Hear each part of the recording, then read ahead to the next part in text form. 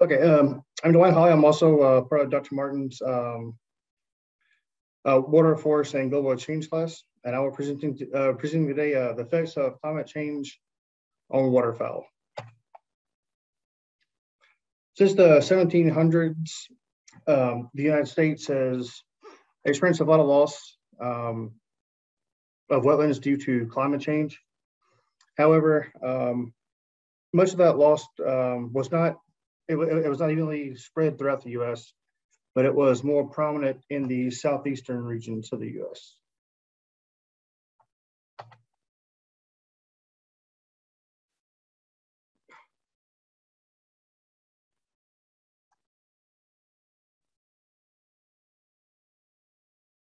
Well, oh. okay. There we go. Uh, climate change influences um, wildlife and waterfowl in several different ways. Uh, with climate change, it brings the warmer and drier air temperatures that decrease habitat uh, for waterfowl by drying up the, the wetlands and causes habitat fragmentation, uh, probably due to exurbanization. Exurbanization is the expansion of residents moving from urban areas to more rural areas. And with that uh, causes more habitat degradation, habitat problems. Um,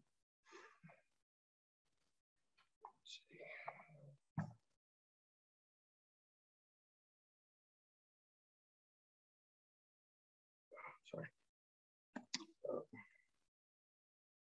And a, a, a decrease overall in habitat quality. With that, um, brings uh, several more uh, environmental issues as well.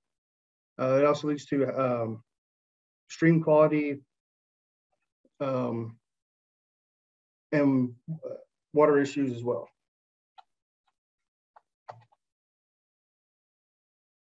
Here, uh, just um, more, of, more of an example of exurbanization. Uh, the image on the top left uh, was taken in 2006 um, here in uh, my local community. And then the, the one on the bottom right um, was from 2021. And these, even the, uh, the, the current picture there now um, is experienced much more loss um, between 95 there and that whole forested area between there and the neighborhood is, is now completely gone. Uh, they're still they're, they're they've cleared that out and they're they've built more more housing and res, residential zones between 95 and the the current neighborhoods that are there now. So it's it's happening at a fast rate. Um, as you can see, the fragmentation occurs along the edge of forest. Um, and what that does, it creates more edge, and with more edge, you, you have, you're going to have a decline in, in species.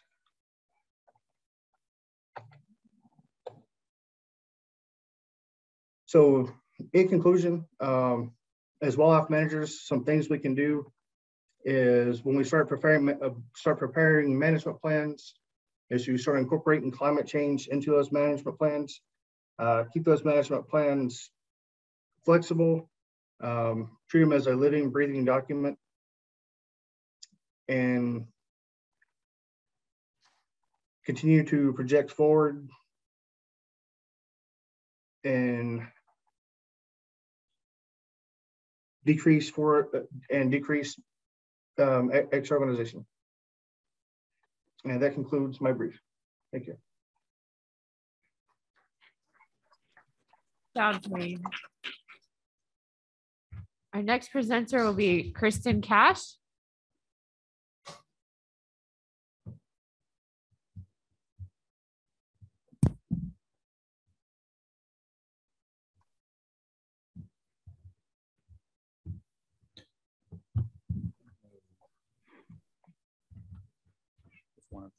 One one of the ideas.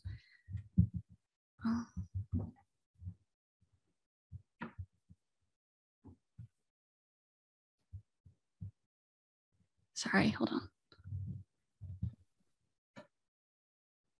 Okay. Oh, yeah, yeah. online.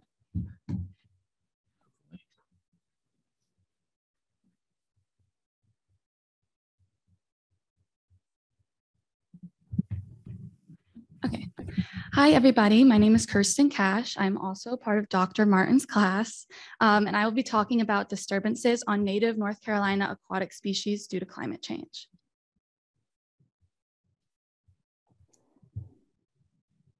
Mm. I, I think it's frozen. Sorry. I just. Okay. Okay. Um, all right, so there are plenty of native North Carolina species that are affected by climate change, but today I am going to be talking about the bull shark and the loggerhead sea turtle. Um, so what we will see with this is potential for loss of biodiversity, and that is really important to all ecosystems. So due to this loss of biodiversity, we are looking at complete ecosystem collapse off of the coast of North Carolina. Um, so I'm first going to be talking about bull sharks. Um, so they're most affected by rising um, sea temperature increases, and this is actually shifting their range or habitat more northward. Um, so due to this, that means that in North Carolina, we are starting to see an increase in oversaturation of bull sharks in the sound and estuaries. They're mainly using this area as their own nurseries. Um, so just due to that, we're not only seeing adult, but we're also seeing a lot of juveniles um, kind of using this as their more permanent range, let alone nurseries.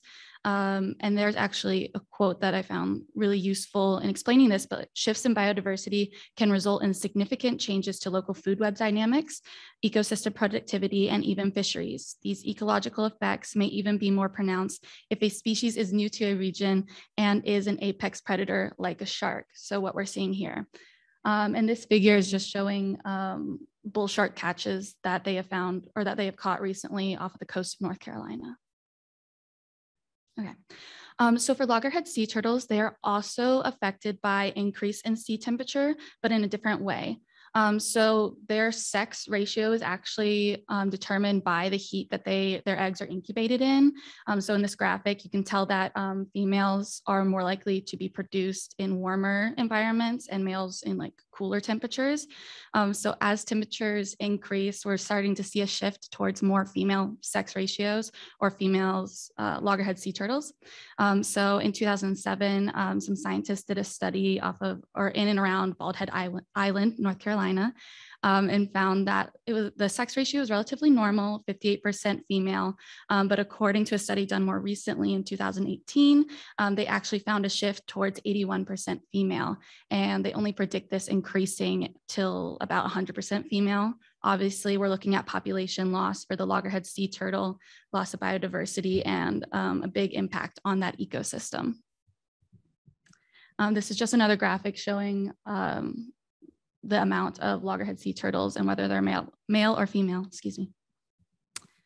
Um, okay, so what this means, um, these species that I've just talked about, they are all keystone species for their environment. This means that they play very integral and integral and important roles to that ecosystem. So if they face any big changes or loss of population, that can have a whole negative impact on the ecosystem um, loss of biodiversity would cause a myriad of problems um, surrounding any ecosystem, let alone North Carolina's. Um, so rising sea level, uh, rising sea temperatures are the biggest role and impact of climate change on these species because um, the ocean is um, the first to be affected by rising temperatures in the atmosphere.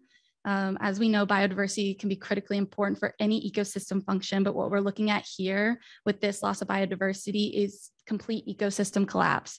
Um, so to avoid this and any costly damages that will affect both humans and animals alike off the or in and around North Carolina, um, it is important that people and also the government alike um, needs to be more proactive in addressing and mitigating climate change in total. All right, thank you so much. All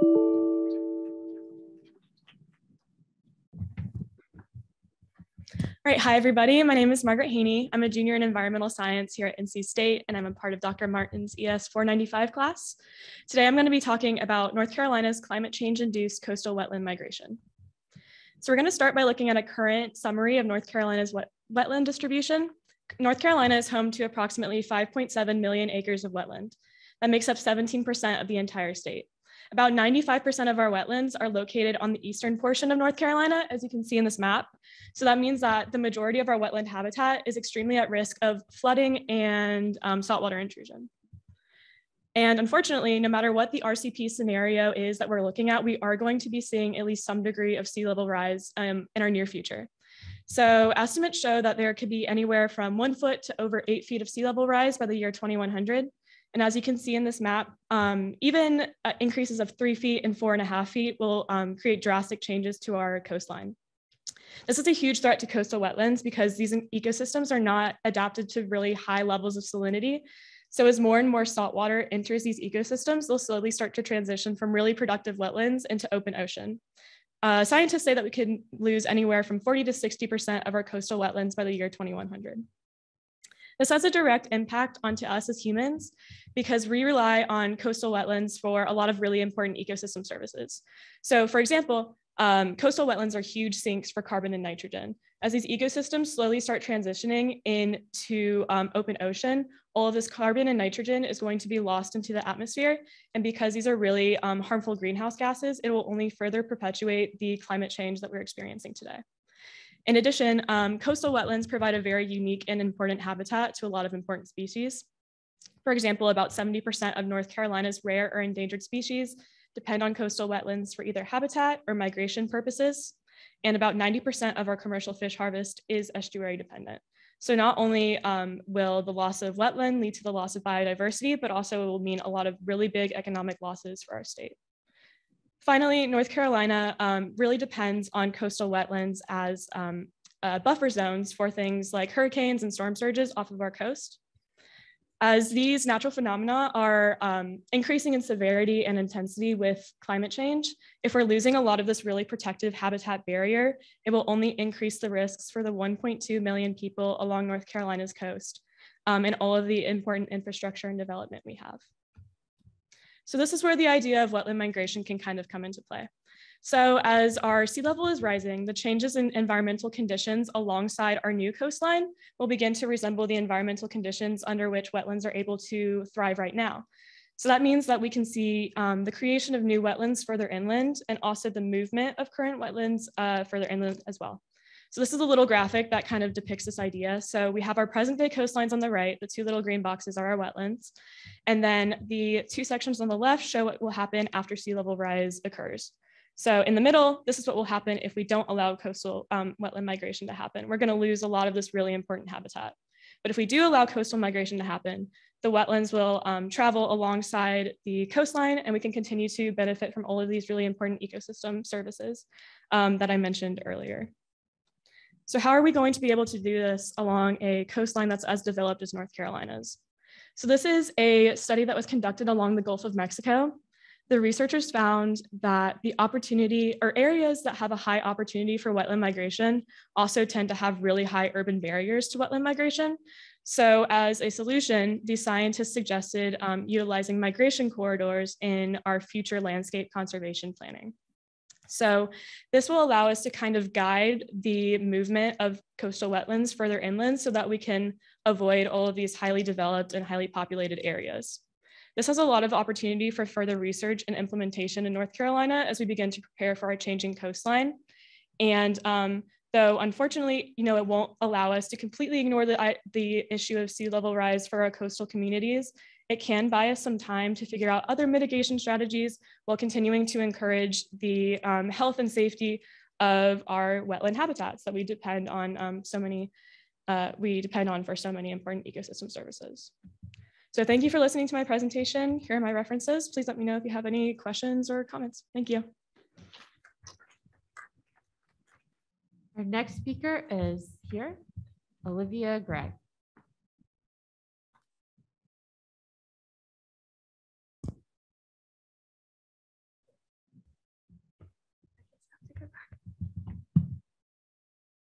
Okay. Hi, everyone. My name is Olivia Gregg. Um, I'm a senior in environmental sciences with the College of Natural Resources at NC State. And today I'll be talking to you a little bit about ghost forests. So ghost forests are groups of trees that are dead or dying as a result of a disturbance which in this case is saltwater exposure. And that's due to three major factors.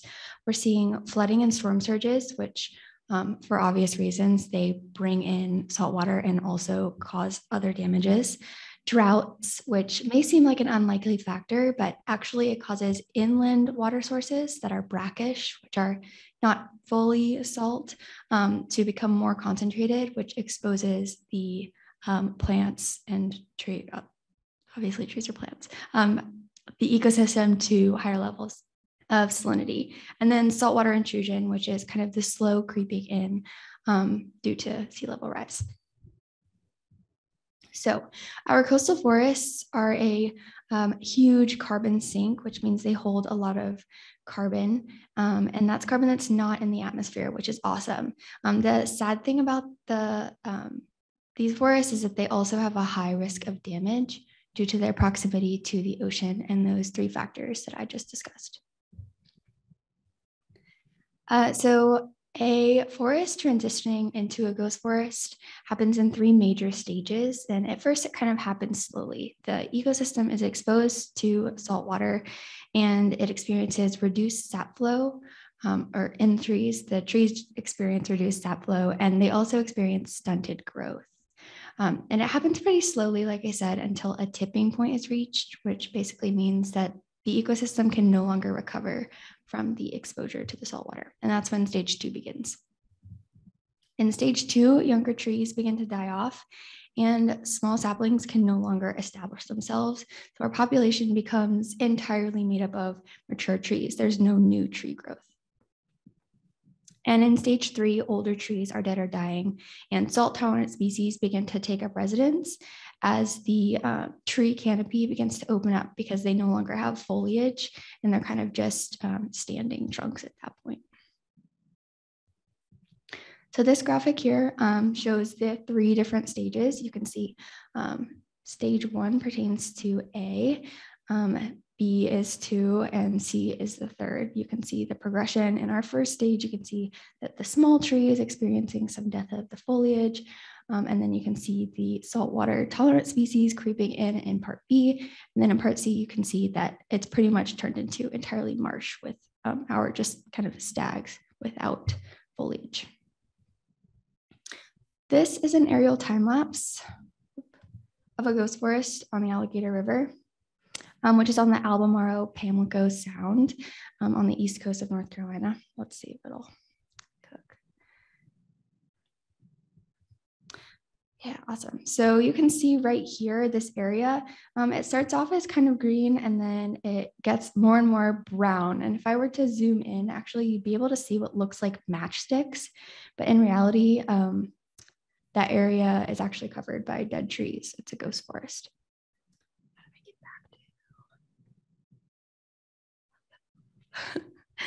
I can't see for because of the bar. Okay, great, thank you. Awesome. Uh, so overall, eustatic sea level rise is predicted to reach 0.4 to 1.2 meters of rise by 2100, and that's due to glacial melt and ocean water expansion. Um, the East Coast is showing the most prevalent land loss, so North Carolina is at a very high risk. And we're also at risk for more extreme weather events, which cause um, storm surges, flooding, and also higher temperatures. So that means more droughts. and essentially, um, one of the big ideas is that the death of these coastal forests, like we talked about, um, would cause carbon to be released into the atmosphere.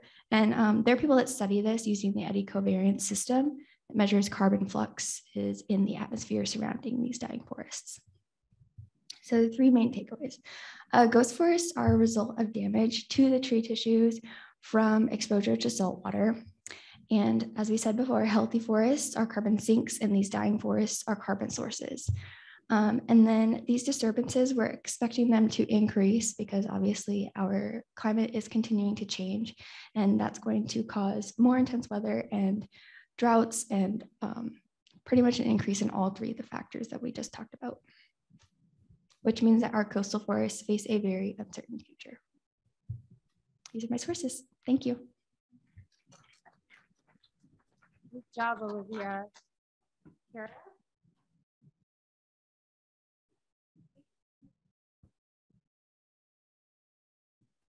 Hi, should I share my screen now? Yes, go ahead. Okay.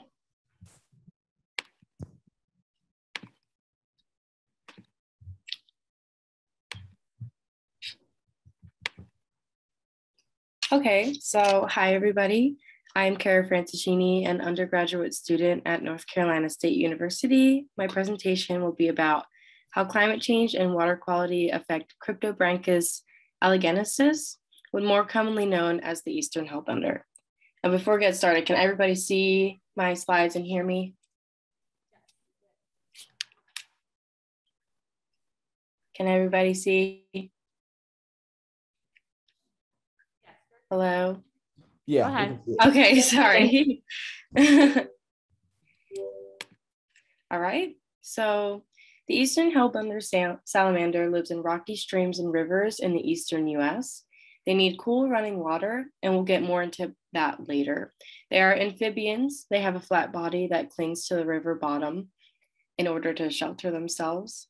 And they have skin folds to increase oxygen absorption with their surface area, and we'll get more into that later as well. They're listed as near threatened on the IUCN red list with populations decreasing.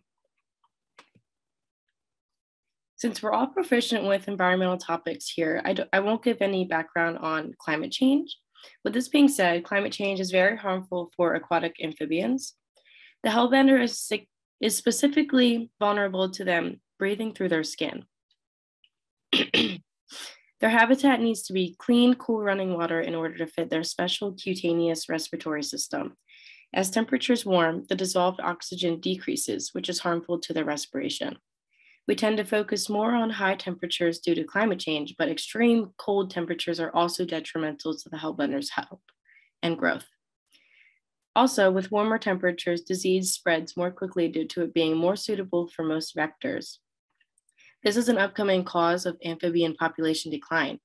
The picture to the right is an example of disease rising in eastern hellbenders, the chytrid fungus. It is deadly and breeds more in warmer climates. The larvae and adults need a coarse, rocky stream bed to avoid predation and provide shelter, as seen in the bottom right picture.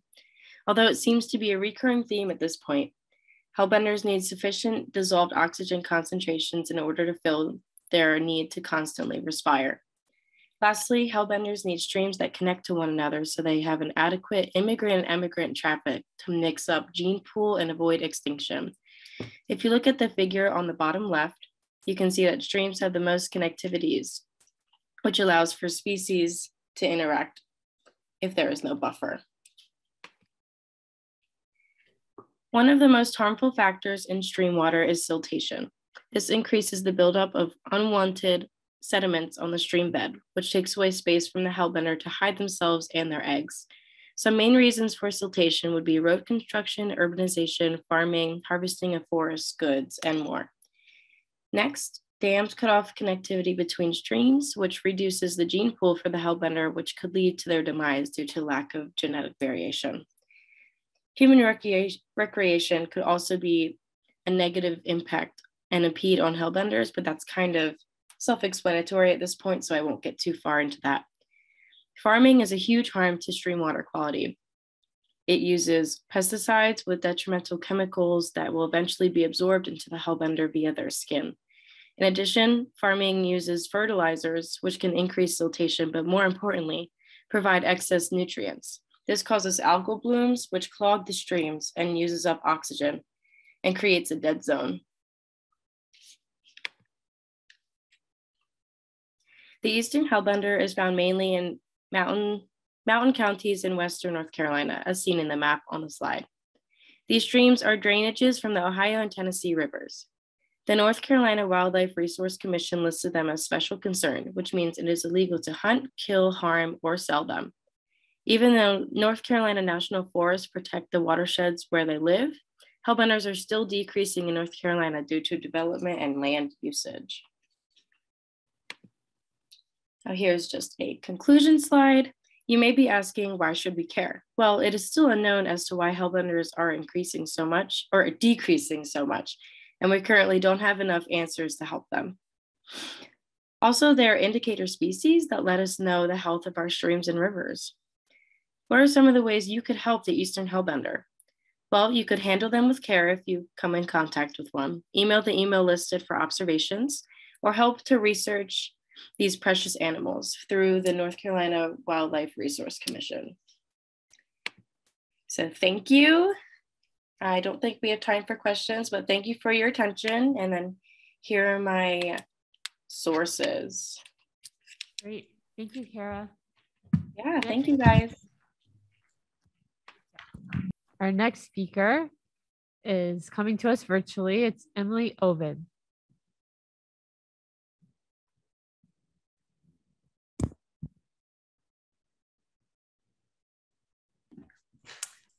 Hi everyone, I'm Emily and I'm a master's student at NC State. I'll be talking to you about investigating the effects of disease and urbanization on snakes in the Neuse River watershed here in North Carolina. I'm particularly interested in the upper part of the Neuse River watershed that includes Raleigh and Durham. This watershed is home to about one sixth of the state's population, particularly around the cities of Durham and Raleigh. And as we all know, the Triangle is one of the fastest growing regions in the country, making this area of the watershed particularly interesting because of increasing urbanization as well as development, which can lead to decreases in available habitat for wildlife that depend on the resources of this ecosystem. In recent decades, the Neuse has been highlighted in toxicology reports as having high levels of municipal and agricultural pollution, which are concerning for both people and wildlife, these pollutants undoubtedly affect water quality and change resource availability. But what I want to highlight the most is that the Neuse River is home to a unique diversity of amphibians and reptiles. My master's research focuses on local snakes, so I've highlighted a couple snake species that call this watershed home, such as the northern water snake, the worm snake, the red-bellied snake, and the eastern garter snake, just to name a few. Snakes are interesting to study because there are so many different species in this watershed, and they are often cryptic and hidden away, so they're not always the first species one thinks to study. However, snakes are important ecologically, acting as prey for larger predators and as predators themselves, helping to control prey populations. But as mentioned above, they are cryptic and hard to study using traditional ecological methods. So what are some other study methods we can use? I have a background in parasite ecology, and when it comes to studying cryptic species, I think about using parasites or disease to better understand host ecology. We are able to use parasites to study host ecology because most parasites have complex life cycles, as pictured in this slide. And those complex life cycles can be used to make inferences about a host. For example, we can learn more about host diets, habitat use, food web complexity, health, and so on. Likewise, some parasites can be used to gain insight on environmental quality or as bioindicators of ecosystem health. And when we pivot to the more urban areas of the Neuse River watershed, we can apply what we already know, which is that urbanization affects biodiversity through different mechanisms such as resource competition, altered trophic interactions, and disease. And highlighting the disease portion of that statement, we know that urbanization can amplify or limit pathogen transmission depending on factors such as habitat connectivity, diet composition, habitat specialization of the host, and so on. I want to highlight that there are many different mechanisms of disease we can investigate as researchers and that this is particularly applicable to Raleigh and Durham because of the many greenways and parks we have that represent the interface between urban and natural areas. It's interesting to think about how urbanization affects pathogen and parasite transmission in wildlife throughout this particular watershed. And one group of parasites that are especially interesting to study in wildlife hosts in this human context are fungal parasites. Fungal diseases are on the rise. This is due to warming temperatures caused by climate change, urbanization, and increased global connectivity of humans. Some examples of well-known fungal diseases I'm sure some of you have heard of are white nose syndrome in bats, chytrid in amphibians, and ophidiomycosis or snake fungal disease in snakes. My master's research focuses on the fungal parasite that causes snake fungal disease and using that parasite to better understand snake ecology and health in this watershed. So let's review some of the things we've talked about and connect those ideas to snake fungal disease. So we learned that we can use parasites and pathogens to better understand snake ecology and health. So we can predict that snake fungal disease will be more prevalent and severe in urban environments, where temperatures may be more favorable for the fungus, and snake species may be less resistant or less tolerant due to density-dependent effects and anthropogenic stressors that I mentioned earlier. Overall, this research can help us gain insights on which habitats to prioritize for snake conservation and which inter interventions might best improve snake health in the urban parts of this watershed. So in conclusion, the Neuse River is home to a high biodiversity of snakes that are being directly impacted by urbanization and climate change. So the next time you're walking or hiking around a local park or forest, I want you to look for amphibians and reptiles and think about the habitat and resources they depend on. Then I challenge you to connect those thoughts to how urbanization is impacting their health and ecology and come up with any possible solutions of your own.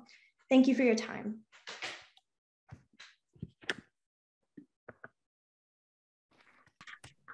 Rounding out our lightning talks, uh, Mathilda Pflaeging is up next virtually.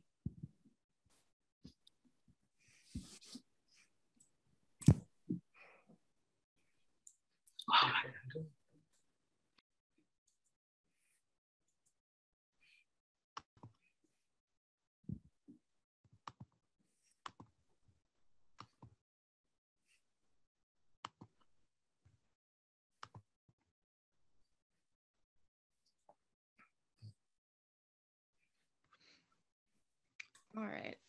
My name is Mathilda Pflaeging. I'm a major in environmental sciences at NC State, and I research sustainable aquaculture in North Carolina. Aquaculture can be defined as the cultivation of aquatic animals and plants, especially fish, shellfish, and seaweed, in natural or controlled marine or freshwater environments under water agriculture. Sustainability can be defined as avoidance of the depletion of natural resources in order to maintain an ecological balance.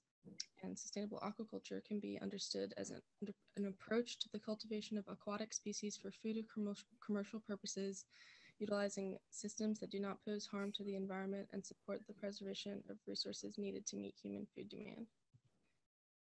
So some of the benefits include bivalve shellfish dem demonstrate promise as an in-water strategy to support land-based nutrient management.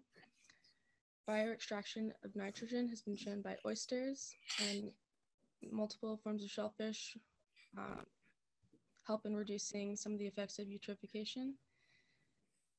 Shellfish can also improve water quality through shellfish filter feeding, and sustainable aquaculture can stimulate species diversity and abundance and help strengthen local economies. Why is sustainable aquaculture important? It's one of the fastest growing food production sectors in the world. It's developing and growing in regions around the world. Sustainable aquaculture has a reduced carbon footprint due to reduced greenhouse gas emissions and has market demand as it has production of safe and quality products, provides goods to be used by humans without detrimental harm to the environment, can help with food security, global climate change and international seafood demand. Aquaculture has a growth rate of 6% per year and help with current food demand as well as future food demand. The aquaculture sector has some challenges that it needs to resolve to meet demand as an environmentally viable option. And oceans and waterways only use a total of 2% of global space for food production. Aquaculture sites do need to work on reducing pollution, although pollution from aquaculture sites is considerably less than ag agriculture. And ultimately, regulatory changes will need to be made to make this option more viable. Some of North Carolina's accomplishments include the North Carolina Oyster Blueprint, uh, restoration of 450 acres of oyster habitat, and documentation of economic benefits of oyster restoration. North Carolina had a shell recycling program from 2003 to 2015, where they collected over 250,000 bushels of shells, uh, increasing funds for oyster related programs, creating a North Carolina strategic plan for mariculture. Uh, North Carolina has grown the industry from 250,000 to 5 million and increased the number of oyster farms in the state. And the shellfish industry in North Carolina has been stable for over 30 years. Uh, Looking forward, North Carolina has another oyster blueprint with the four initiatives of protect, restore, harvest, and educate. And during an evaluation of environmental impacts and ecosystem services of aquaculture in the North Carolina National Estuarine Research Reserve, it was determined that the total potential of nitrogen removal by oysters in the state of North Carolina has a value of three to $14 million. North Carolina also signed the NOAA's National Shellfish Initiative in 2018 and has a plan for the prevention of marine debris from shellfish mariculture, including best management practi- practices. And North Carolina launched the first, the first state to launch a shellfish initiative in the southeast and the sixth in the nation. My references here. Thank you so much.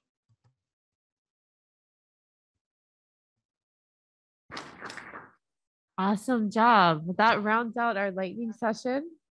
Some of our speakers are still here in the room and some are still here virtually. Are there, can I moderate any questions from anyone?